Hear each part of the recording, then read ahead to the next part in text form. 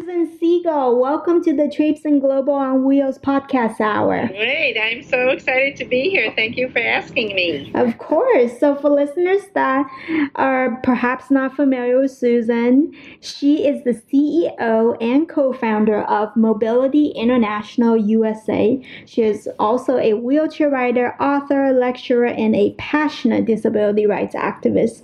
She has edited and authored several publications to advance the rights of people with disabilities around the world. She has received numerous awards and distinctions in recognition of her work, including the prestigious MacArthur Fellowship and Ashoka Fellowship, a Rotary Scholarship Alumni Award, the President's Award from the Honorable Bill Clinton, and an honorary doctorate from Chapman University. She lives in Eugene, Oregon, with her partner Tom and her dog Yum Yum. Can I just say that I love that dog name? Yes. yes. He's, a, he's, a, he's a gigantic dog. He's 152 pounds. Oh my gosh.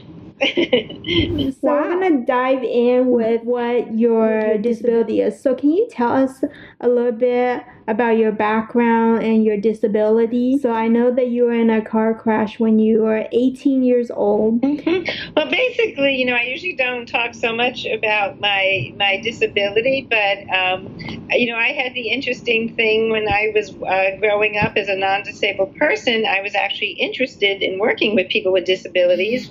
I was very sports oriented and skated and skied and danced, and then um, then when I became disabled I'm a, a paraplegic, um, um, and I'm a, Uh, use a wheelchair now all the time. And I really had that experience of you know one minute being a non-disabled person, the next minute being a person with disability, and I just really wanted to continue working with the idea of working with disabled people. So I think for me the most important thing is that I think that my rights-bearing attitude has a lot to do with the fact that I always expected to have the same rights as non disabled people as I was a non disabled person. So it just seemed just, um, I just couldn't understand why, once you're a wheelchair rider, why would you then, you know, not be able to? I was living in New York, not be able to get on the subway at that time, you know, have such a difficulty uh, getting jobs, employment. So for me, I'm, I feel it just. Um, my accident just really enabled me to be even a more passionate um, disability rights activist.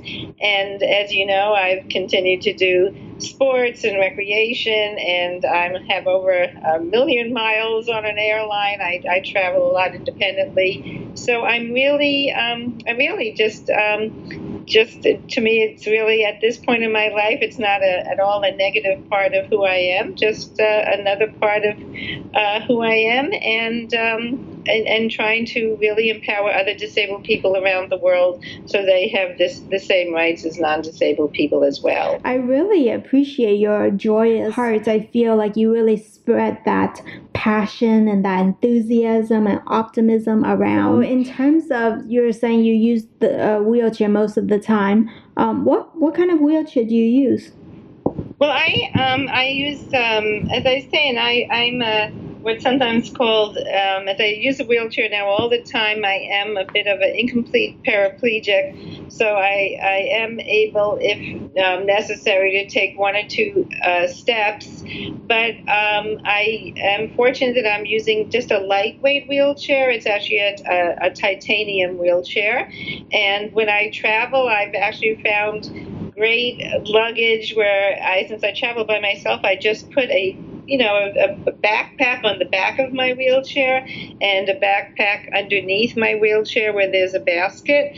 And it doesn't matter whether it's three days or three months. That's all I take, so I can uh, maneuver easily. And my both my wheels uh, pop uh, quick release pop off. So if I need to get into a regular car or a taxi, I can I can do that. You were saying that you have you've traveled. You know, you have a, a, over a million miles. I'm assuming you you've experienced a variation of uh, wheelchair malfunctions over the years. How have you dealt with them? Right. Well, actually, you know, I, you know, probably knock on whatever you're supposed to knock on. I have been pretty fortunate. I've had, you know, definitely um, I carry an extra tube and stuff if I get a flat tire, but the first thing I do if I get a flat or something, I, you know, if I'm in a city, at least go to um, a bike store. So I tend, so usually bike stores can replace flats and things like that.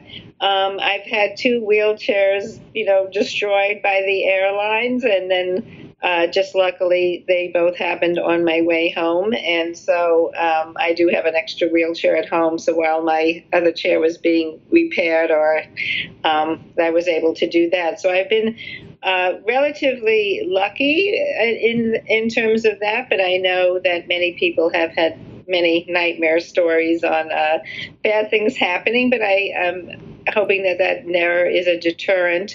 And as you know, you know we at Mobility International we're really interested in people with disabilities when they think about travel is thinking about what we call travel with a purpose. So to think about going on an international exchange program or volunteering abroad. And as you know, our organization gives lots of free information for people with all types of disabilities who might think about studying abroad or volunteering abroad or being a Fulbright scholar or Peace Corps or a high school exchange student. So I'm hoping that many people who are listening to this will get excited about that idea and look at our website and uh, think about what they can do with their lives to travel more and to maybe live in another country for a short while. I um, having interned for you. I know you offer amazing uh, opportunities for people of, of various dif- disabilities. So you talked a little bit about the accessories that are on your wheelchair. You know, you strap a pick a backpack to the back of your wheelchair, and then underneath there's a ba- there's a basket that you can put things in.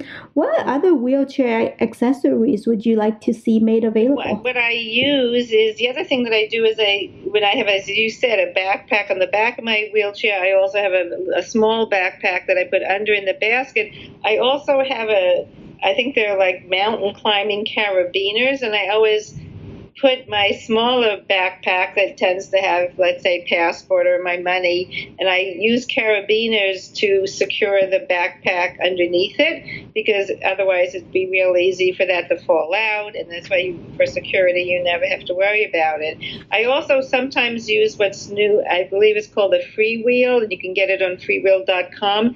Like if I was in, um, I just was in Barcelona and definitely in Prague, in the places where there's like either a lot of cobblestones or a lot of un, uneven places or you know, on grass. It's an attachment um, that you can buy, and it lifts up your front two wheels, and then there's sort of a big wheel that hooks onto your wheelchair in front. Um, and I think on our website there's some pictures of that. And I don't use that all the time, but amazingly it fits. You can carry it on the back of your wheelchair. It's actually designed by a quadriplegic. And I think for those types of places that helps. And then on a lesser scale, I also have a, just a very simple cup holder that attaches to my wheelchair because you never know when you. It helps for like having either holding a hot chocolate or for my work, I go to a lot of receptions. It's the perfect thing to carry your wine glass in. Did you design that um, yourself or? No, I think it's, you know, I think actually the basket under my chair was given to me by a wonderful disability rights activist from Mexico. And I think this cup holder thing you could probably, probably just got online or at one of those, um, you know, stores that sell disability products. So that's pretty simple. You could probably also just get a cup and tape it on yourself. So I'm really into low cost you know, easy, easy things, I think, are always the way to go because I say these things when you travel a lot can get destroyed very easily, so you don't want something too fancy. So with the free wheel, when you're not using um, it, do you just put it in the back of your chair then? Because yeah, it, yeah, it fits. Actually, it's quite amazing. It'll fit. Like I don't have any push handles on my wheelchair, but it fits on the back of like this little whatever titanium bar, and it, it's amazing. It sort of folds up and fits on that. And even with that, I can throw my backpack over the wheel. So when I'm traveling, I can I can do that. Also, and I say I only travel with that on at certain places that have cobblestone or other things. I don't travel with it all the time, and um, I also, you know, never check my chair all the way through. I always, you know, like I think most people, make sure that that I have my wheelchair every time I switch airports, that it's always um, waiting for me. And I, I, so I try to, you know, really as much as possible, um, do everything I can to, you know, have my wheelchair in sight and have it available at all times because it's it's my key to independence. I read an article where you mentioned that you know one of your most challenging experiences when you were a student um, at U of O was dealing with the inaccessibility on campus. So you filed some ADA related architectural complaints, which you said were immediately resolved. Could you walk through the process to filing these complaints for younger wheelchair users who are not as informed about the process and perhaps are even in, intimidated by it? Yeah, sure. And one of the things, and as I say, you know, that that was many years ago, but I I think it's important, you know, for those of us who are disability rights activists and wheelchair riders, that when you come upon whether it's an inaccessible restaurant or a workplace, you know, the first thing I would do is, you know, talk to the people there and try to resolve it um, you know, talk to the staff, go as high up as you can and try to, you know, just see if it's possible to resolve it. If you've tried, you know, calling, writing, emailing, doing all those things, and you feel like you've been working on it, you know, for a while and nothing is moving, then actually, if you just go on the website, there's um, under the Americans with Disabilities Act, I think they, they have a whole form. You can file a complaint, I think, federal or through the state, but, you know, things change, so you should just Google it and see what. Usually, there's um, sometimes there's things called the Protection and Advocacy offices in each state. There's a fabulous organization called DREDF, the Disability Rights Education Defense Fund in Berkeley, that has a lot of information. But if you're not getting what you need to be done, and it's a very simple form, usually just to fill out and to file a complaint, because the ADA is complaint based. So if people with disabilities don't file those complaints, then the law won't be as effective as it can be because most businesses, let's say, follow the law. But if somebody doesn't, you need to complain not only for yourself, but then you're also paving the way so other disabled people can uh, can you know can use the service or get into the building. So I think it, it's important that all of us um, just try to resolve it first through human contact and hopefully people will resolve that. But when that doesn't work, then you need to go, I think, to take action legally. That's a great point. Yeah. So let's get down to the heart um, of Mobility know. International USA. So what inspired you to to co-found MIUSA? Tell us a little bit about your early days, who your other uh, founder was? Yeah, sure. So I was a undergraduate actually at the University of California at Berkeley, and I saw an ad in the newspaper saying "Be an ambassador of goodwill, all expenses paid," and I thought, oh my gosh, that sounds so fabulous. And I applied, and it was for a Rotary scholarship, and I get to pick if I got accepted where I want. And I was probably one of the first wheelchair users to to apply for that type of program, and I got accepted. And I spent a year at the University of Queensland in Brisbane, Australia, and I had the most amazing year. I did all sorts of wild things and and had a just just a unbelievable, fabulous time, like many non-disabled people who a, take a year abroad. But I, it really struck me that there were no other people with disabilities who were participating in international exchange like non-disabled people do. So after I finished my year in Australia, I traveled through Malaysia, Indonesia, Thailand with another friend of mine. Um, I did some wild things like hitchhiking my wheelchair through New Zealand with a friend who actually also was in a wheelchair. And then I came back and I decided to finish my master's degree at the University of Oregon in Eugene, Oregon. And Barbara Williams, I met her, and she was also a graduate student. And we just decided to co found this organization called Mobility International with the idea of increasing the number of people with disabilities, all types of disabilities, and all types of international exchange.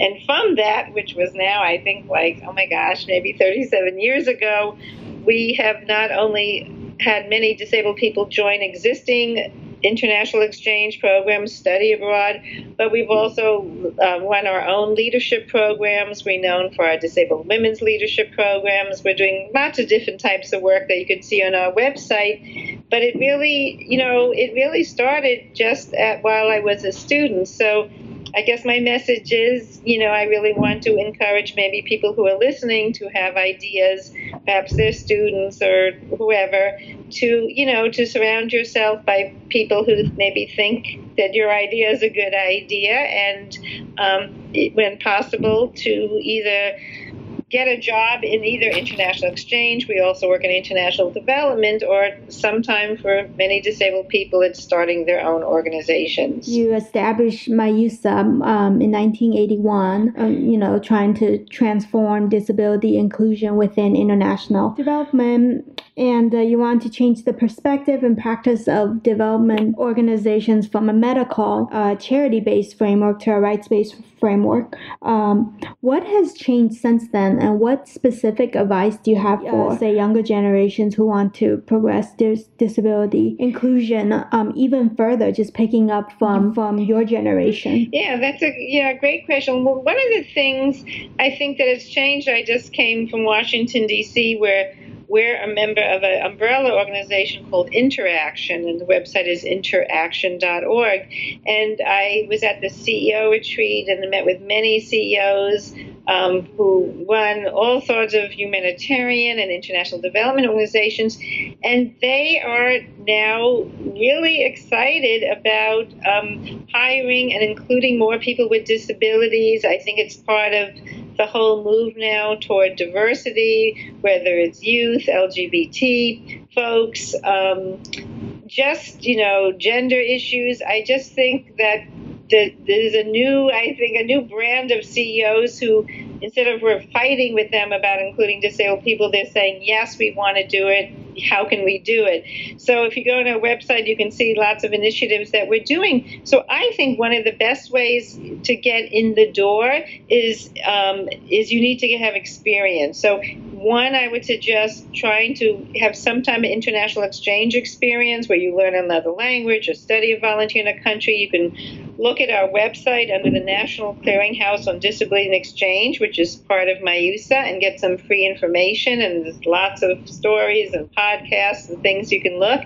And then I also, where possible, look for any of these programs. They you know, and and think about as you did, you know, becoming an intern because even at MIUSA and a lot of places, once you're an intern, if you learn a lot, if you do good work, that's usually a great way then of perhaps getting hired and getting a taste of deciding if this is the field for you, and if it is, it's a great beginning of then hopefully then moving up in those organizations and. Um, being being leaders. I'm really looking for people with disabilities to be leaders in international development programs, international exchange programs, not just participants. So I certainly see you as a leader in in the disability rights field. So during your three plus decades of um, working at MIUSA and leading the organization, what are you most proud of when you think of all the things you've been able to achieve with, with MIUSA? Well, thanks. Well, first of all, I have to say that um, all the achievements that MIUSA has made, as um, um, hopefully I've led the organization well, but I've only been able to lead it well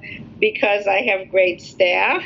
And over the many years, the staff have really the ones that make the programs happen, interns like you who are an intern and, and other people. So I really want to give credit to that. Um, I, you know, I don't, again, I don't know if there's one thing I'm, I'm really excited about um, that the fact that we have 2,300 alumni from 135 countries. I think to be able to affect so many people and have them go and affect other people in their country. I'm really proud of our women's program, our WILD program, and so many of the WILD women we've stayed in touch with, and they're doing amazing things. We just did a regional WILD program in, in Sri Lanka, and I'm really exciting now the work that we're doing to change organizations like international development organizations and women's rights organizations to help them be uh, more inclusive. Um, I think it's going to take lots of different um, sectors and lots of different people um, to affect change, and it's going to take laws and policies and civil society and community. Um, people who are just working on the grassroots community. I think it's going to take lots of different things happening all at once um, to make the changes that need to happen. So I see that you, at least at one point, was teaching a course at the University of Oregon on global perspectives on disability, and as well as serving as a as a member of the President's Diversity Advisory Community Council. How has teaching provided a new avenue for you to advocate for disability rights? Right. Well, thank you, and we're very excited. We're teaching the class again this year, and it's both an undergraduate and a graduate course. And uh, some people have mentioned maybe we should also take that course online so that more people could take it, and I think that would be a great idea. And I teach it, co-teach it with Suze Dunn, who's one of our fabulous staff who who work with me. And I think what it what has been so exciting about that is that it really lets me hear from you know younger people who are at university who might be you know international studies majors or psychology majors or all all different types of majors. There's usually some people with disabilities, a lot without disabilities, and for a lot of them, they say this is the first time that they took a class at the university that it really talked about disability rights. And, you know, they've had classes maybe that it was more a medical model of disability, but that this class not only was a disability rights class, but really, no matter what career they're going into, gave them an idea how they could be part of the disability rights movement.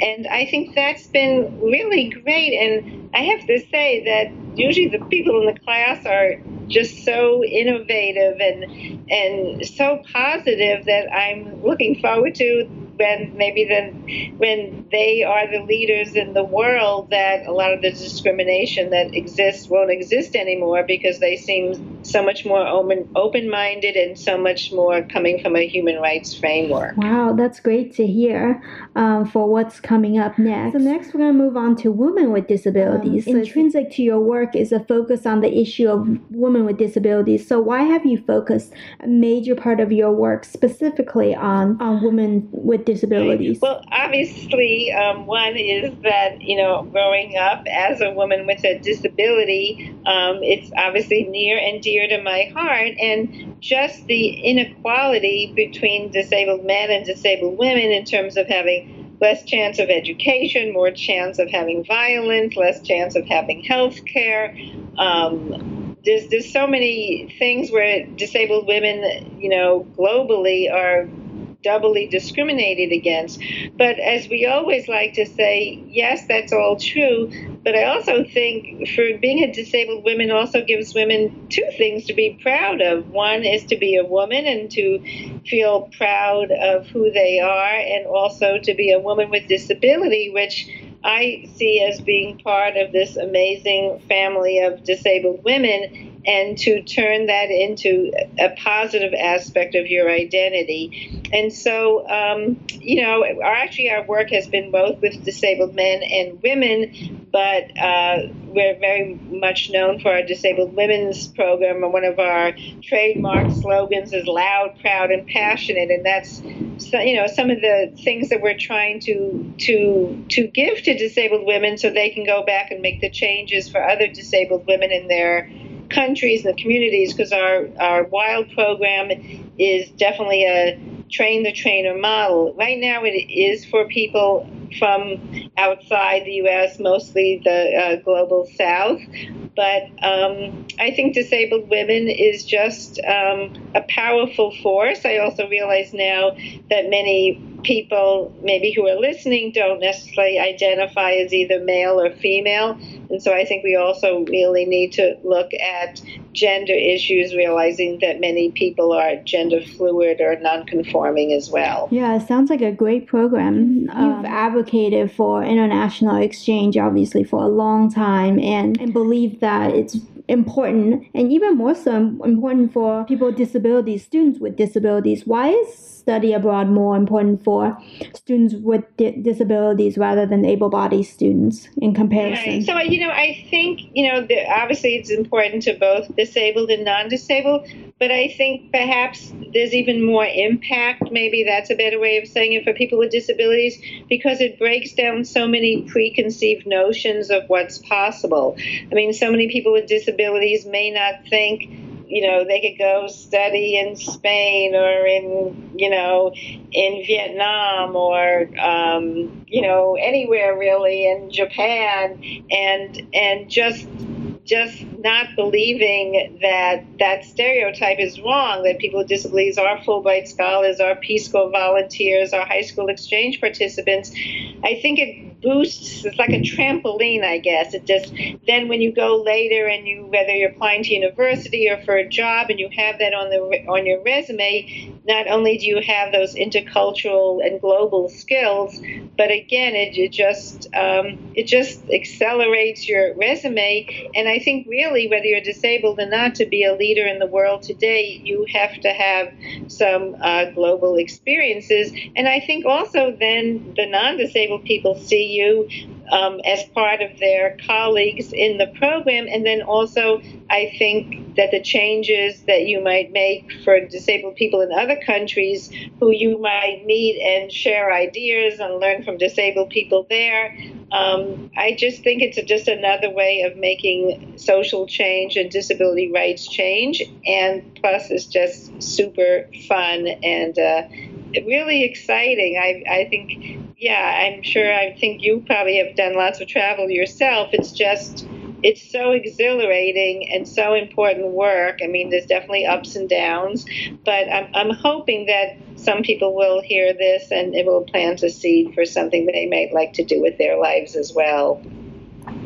Traveling certainly opens your eyes to new perspectives and and uh, new windows to different worlds. So I I really like your Women's Institute on Leadership and Disability program, WILD program, as you were talking about uh, earlier. Do these individuals with disabilities who are coming from the global South mainly, do they need to be fluent in English in order to participate in the program? Um, actually, no. And actually, we um, we just had a call for applications when for July of 2019, which is now closed.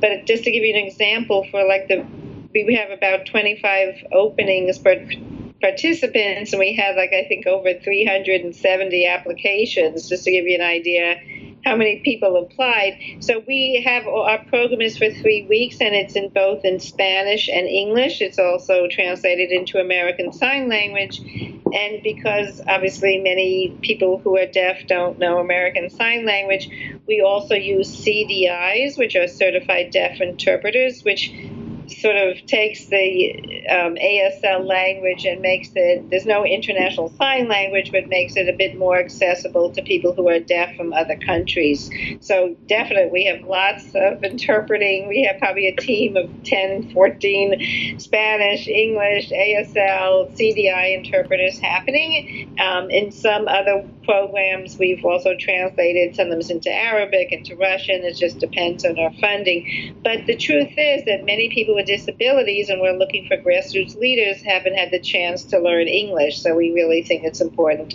to have the program in other languages as well. So you're looking to expand into other languages? Yeah, well, for this year, we'll probably do Spanish. It's really a funding issues, but we also just did our first regional WILD program, and that was in Sri Lanka.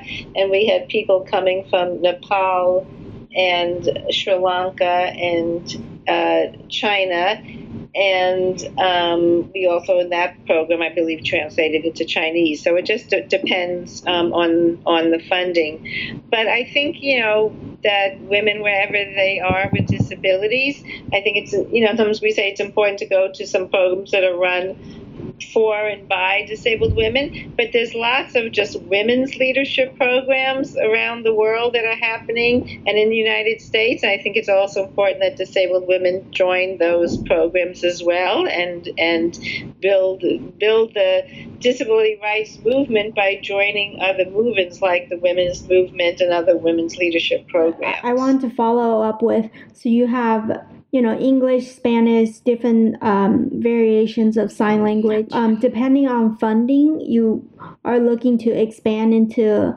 uh, other languages, hence accepting more people from different countries. Is that what I'm hearing? Well, in the past, like in other some of the programs in the past, we did translate into Arabic, and other programs I think once um, we've done um, some French translation for women coming um, from certain parts of Africa, but it's really just it, I mean it translation costs a lot of funds, so it just each year we just have to decide how much funding we have and which languages we can translate into.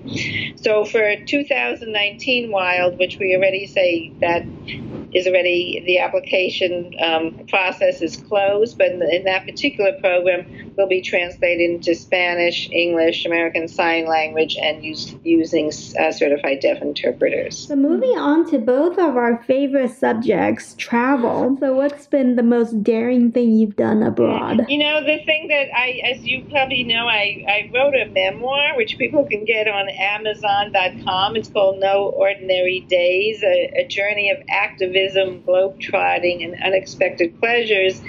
And in that book, I think the thing that surprises most people is when I was studying in Australia, I hitchhiked throughout New Zealand for six weeks in my wheelchair with a colleague of mine who also happened to be in a wheelchair. So that was two of us in wheelchairs hitchhiking for six weeks. I do say I would not recommend doing that today. I think, unfortunately, things are a lot more dangerous and not the world that it was then. So I wouldn't recommend hitchhiking then. I mean, now. But at that time, it was safe.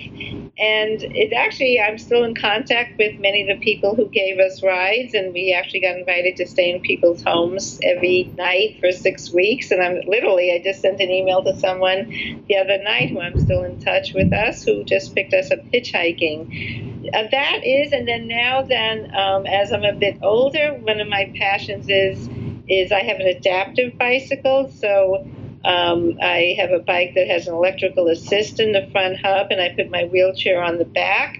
And my idea when I go on a vacation is uh, took my adaptive bicycle and with uh, my partner we bicycled through the Outer Hebrides of Scotland about two, three times, and also bicycled through parts of Europe. Um, so bicycling is definitely a way that I love to, to travel because you meet so many people, and it's, it's just uh, just one of my passions. And it's a good way to get some exercise while you're at it. Exactly. So whether you use, some people I know use hand cycles, some people who have a little bit of motion in their legs might use the electrical assist.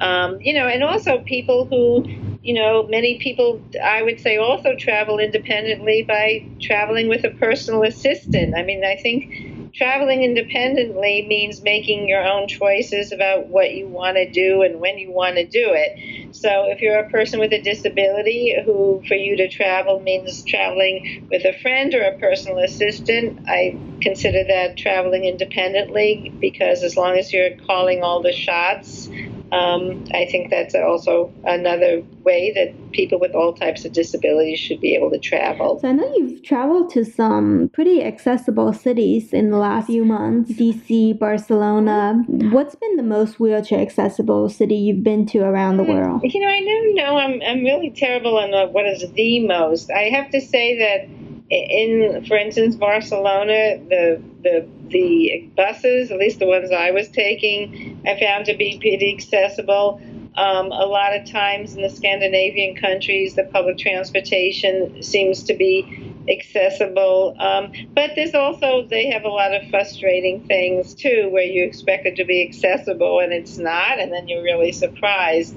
So, um, yeah, I always sort of shy a little bit away from, I don't know if there's a place that has the most accessible.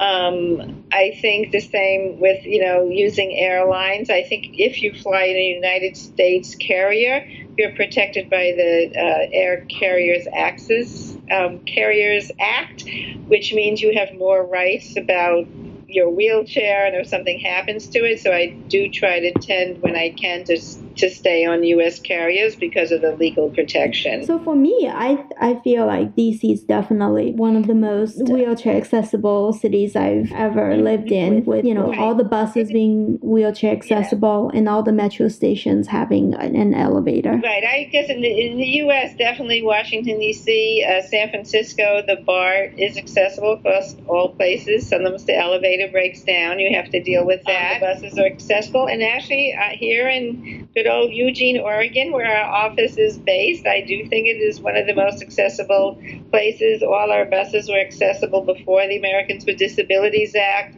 We have, you can rent an adaptive bicycle, you can go skiing, you can go river rafting, um, you can do lots of things. So I, I find, you know, people don't know much about Eugene, Oregon, but it's definitely up there in, in, in very accessible cities.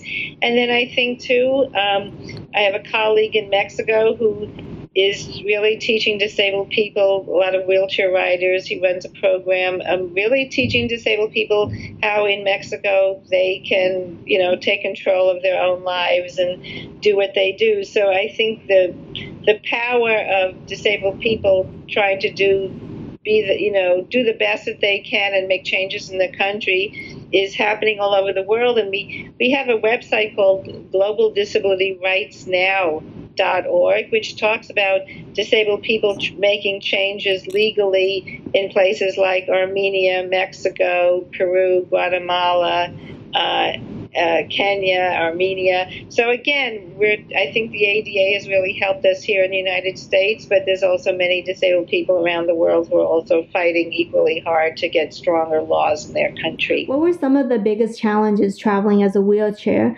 user over the years?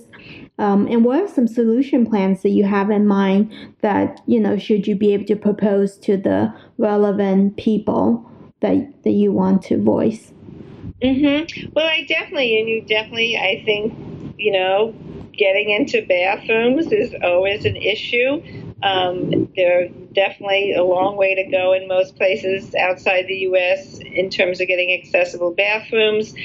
I think having people be surprised that you're traveling by yourself or again having lower expectations of you is something that you know you just have to tell people you know sort of correct some of their misconceptions of what people with disabilities can do in some countries that I've traveled you know you know, a lot of times if you're a person with a disability, there's a lot of staring. I, you know, I'm from New York. I, I can stare back equally well. So I think you just have to be very confident in who you are. I really encourage people who, who like me, who I try to meet other disabled people. Like when I studied a year in Australia, I played wheelchair basketball. I signed up with actually was a men's team, and I got to be one of the only women on their team.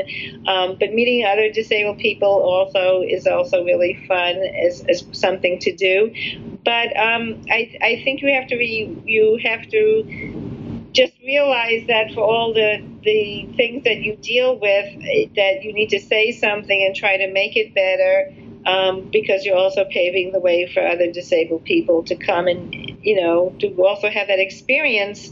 And I think the world is only going to change as we, as people with disabilities, really tell people, file complaints when you need to file complaints and really, um, you know, not, you know, some places, uh, great restaurant, and if it's not accessible, but that's the restaurant I want to eat at, I'm gonna go in there and then really complain about why isn't it accessible. But I'm, if that's where I want to eat, then that's where I'm going. Exactly. So change is not going to happen on its own.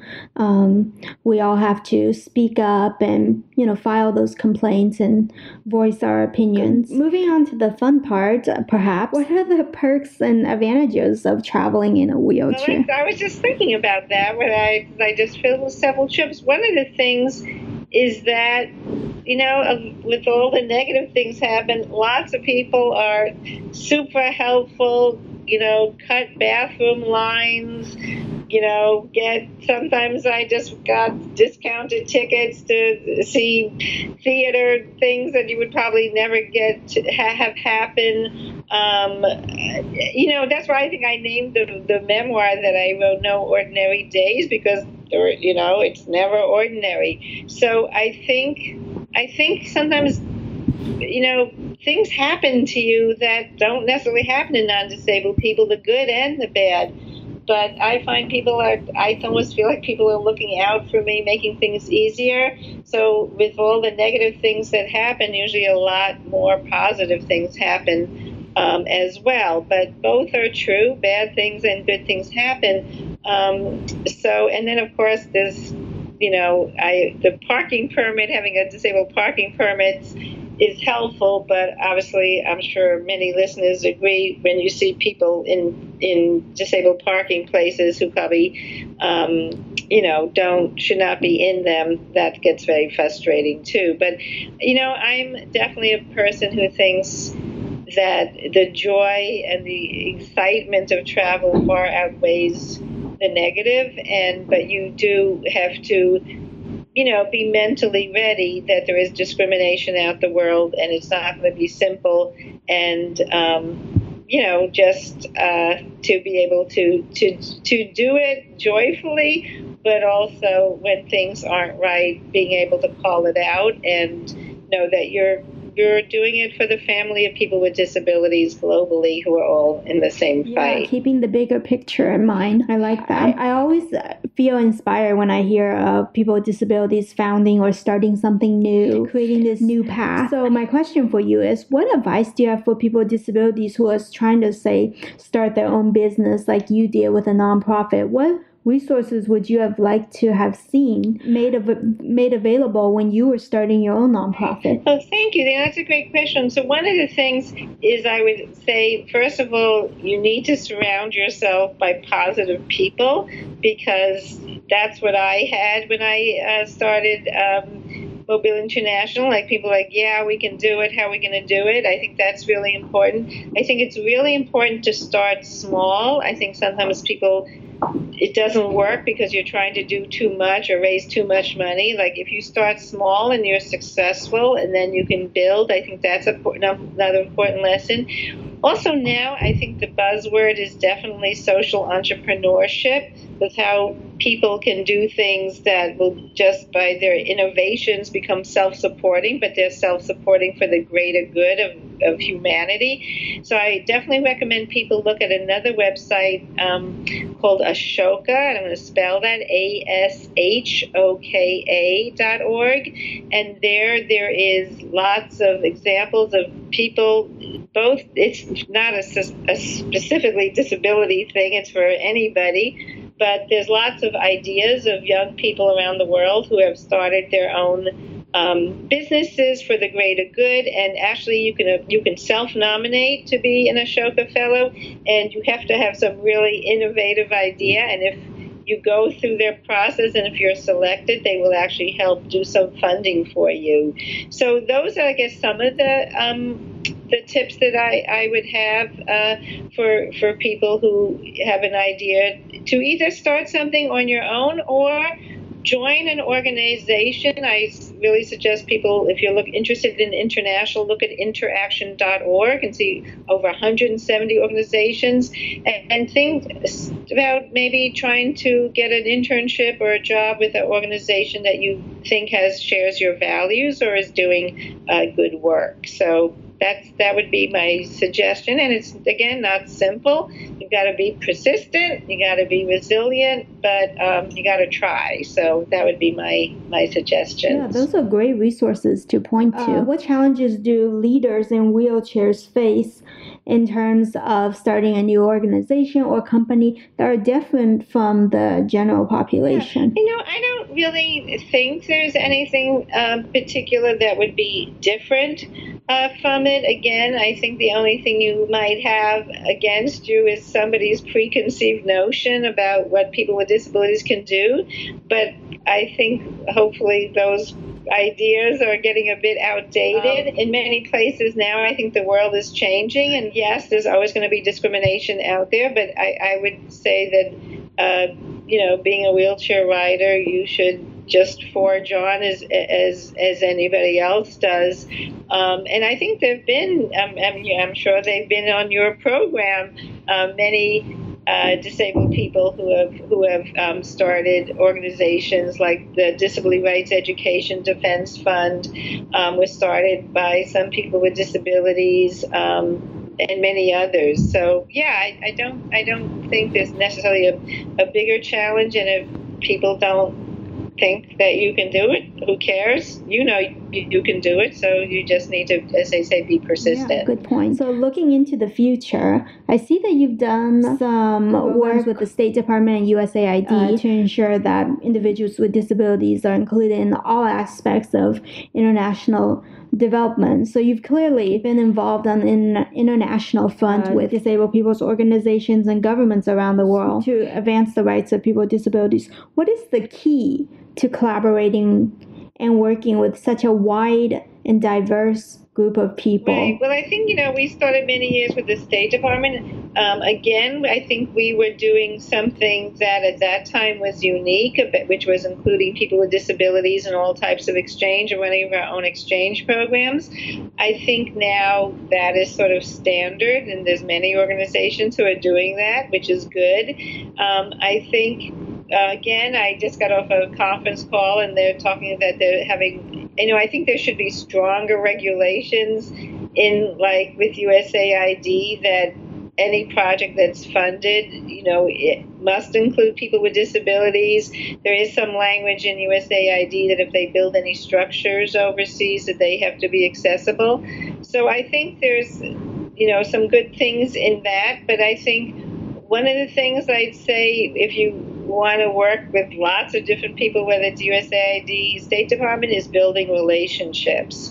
And that was some advice I got many years ago that many, you have to be, as they start small, you have to be, you know, good at what you do. You have to have good evaluation, deliver good programs, but you also need to meet lots of people and form good relationships with people because um, that's usually what makes the difference with successful organizations is who do you have relationships with? Um, how much do people trust you? How much is your word good? How what is the quality of the programs that you do? So those are some of the things that i would focus on when when trying to deal with lots of different both small small projects and, and working with big government entities and networking um, interaction puts on a conference in Washington, D.C. every year. Sometimes they, you can uh, volunteer for that conference and not have to pay uh, so much of the registration fee. That might be a great way to meet lots of people and begin some of those relationship building. Yeah, that's a very good resources to point to as well. Living in DC, there really are so many places that you can um, look into and connect with. Are you optimistic about the future of uh, you know, both domestically and internationally about the progress of the disability rights movement? If yes, I, why? I tend to be an optimist, so probably no matter what, I'm going to say yes, I want to be optimistic. I think definitely we're in some challenging um, times, that's for sure.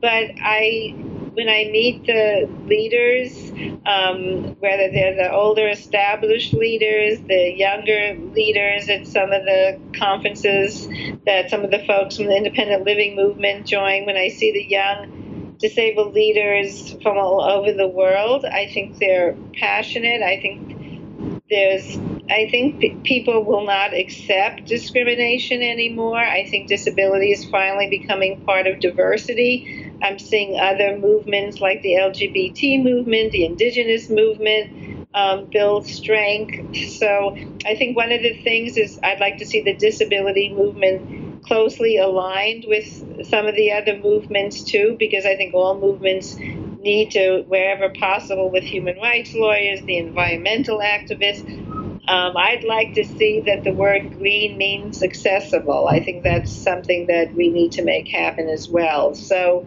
um, there's no point not being optimistic. I think that will not give you the energy that you need to make change. Um, so I would say, um, no matter what the good times are, the bad times, as someone once said, despair is not a strategy. um, I think you've got to really just, uh, you know, they, they always say like keep your eyes on the prize. I mean, imagine the world that you want to see, and our job is to do what we can while we're alive to work toward that vision. Make the best of it. In your lifetime, you know, as being someone who's has been using a wheelchair since she was 18 years old. Um, how, uh, what progress have you seen over the course of your life? And uh, I know that sounds like a, a you know, a, a, mouthful and overwhelming to answer, perhaps. But um, and uh, ideally, how much? Where do you want? Speaking of, you know, the that the vision. Where do you want to see us ideally? As right. a Mm-hmm. Well, no, I, that's a great question. I mean, for me, I think, and I do actually do think about this literally every day. I mean, I know the United States is not perfect. I'm sure there's many listeners that are listening to this, and there's a million things that are still not okay, and I really want to acknowledge that. But I do think that passing the Americans with Disabilities Act you know, drastically changed the everyday life of people with disabilities. That, you know, every new bus had to be accessible, every building has to, you know, be accessible. You can't be discriminated against in terms of employment. There's relay services for people who are deaf. Um, I just think the you know whether you go to buy a pair of jeans, the dressing room, the fitting room has to be accessible. I just think that for me, when I think what the world was like before that and since that is drastically different, um, I think, you know, in terms of education too, having disabled people be in the regular school systems um, is, you know, to the, you know, is really has changed things. So I think for me, the ADA was definitely a drastic difference between the before and after. And um, I still think there's a lot of still work to do in the United States and a lot of work to do globally. But I, as we write a lot about it on our website, you know, there are certain principles about that. Um, that basically the disabled people have to have the exact same opportunities as non-disabled people and and how that gets achieved is, is something that doesn't belong to one country but really belongs to everybody in the world. Um, i'd like to see change happen faster. I speak a lot about moving from inclusion to infiltration that especially outside the us and inside the us if some if you see a program or a service or anything that you want to be part of, you should just assume that you can and go go for it, not wait for someone to invite you or wait for them to have a disability workshop. And um, I'm hoping that more disabled people will just be more assertive, whether it means you know, going to the local swimming pool, going to the university, you know, joining a, a, any program, any anything that they want to do that that you just realize that that's those are your programs, this is your society, and you have a right to be part of it as much as anybody else and not wait for an invitation, but just to, to do it. That is a perfect uh, wrap. So that was our last question, but did you have anything to add in closing in terms of life motto? Any last words of wisdom? Okay, well, first of all, just a real big thank you to you and all the work that you do. And I've seen you here in Washington, D.C., working for Congress people all over. So just thank you for being who you are and all the work that you've done. And um, yeah, I really I hope that in some way that um, people will hear some of the information here, whether it's about inter- getting involved in the international development field, going on an international exchange program, um, being more proactive on getting their rights. Um, I just really want to just thank everyone who is listening of listening and um, just really, I I know there's still a lot of problems, a lot of discrimination in the world, and I just wish everyone lots of resilience and persistence and and also optimism on having the life that you want to live. So with that, I will um, end it and thank you so much. Of course, and thank you.